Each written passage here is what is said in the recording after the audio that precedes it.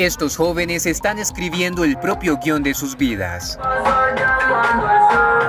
Comienzan a meterse en este cuento de la música y, la, y el cine. De ahí entonces nace mi hijo que es camarógrafo, ya edita, mi sobrino ya hace pistas, es el que, el que está encargado del estudio de grabación. Sí, con música y cine, más de 100 jóvenes en Cartagena están alejándose de las calles para enfocar su vida al arte. Entonces nosotros lo que hacemos es que le decimos a ellos, bueno, mira, ven acá, tú tienes, tú sí puedes, tú eres muy talentoso, tú eres inteligente. Desde el año 2016 esta iniciativa familiar dio su primer paso y con las uñas, como lo llaman ellos mismos, ya realizaron una película, producción grabada un 70% con celular y titulada Ángeles de Calle, que ya cuenta con más de 500 mil reproducciones en YouTube. La organización Ángeles de Calle en un futuro eh, se proyecta como, como una cooperativa influyente y enraizada, donde en cualquier parte de Colombia tú puedas encontrar una sede de Ángeles de Calle. Para potencializar esta iniciativa de arte, la Unidad Administrativa Especial de Organizaciones Solidarias UAEOS,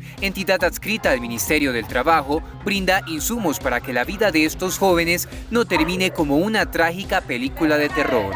Nos ha brindado mucha seguridad, eh, nos ha dicho, mira, este, te damos estas capacitaciones, tú tienes que asistir, motiva a tu gente, al esto, a siempre tener una organización entre nosotros mismos. Gracias a este apoyo han expandido su visión para impulsar a futuros cantantes de géneros urbanos, cineastas y productores musicales. El mensaje es a que aprendamos a trabajar en equipo y que nos apoyemos el uno con el otro.